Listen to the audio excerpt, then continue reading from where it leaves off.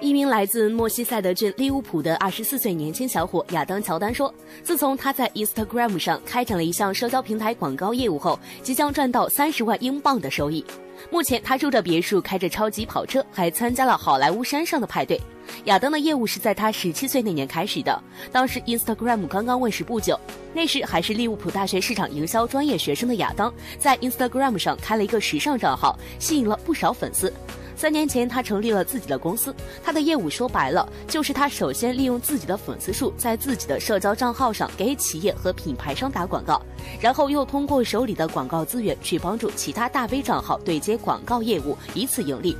今年他有望实现三十万英镑的收入，成为一名社交影响者。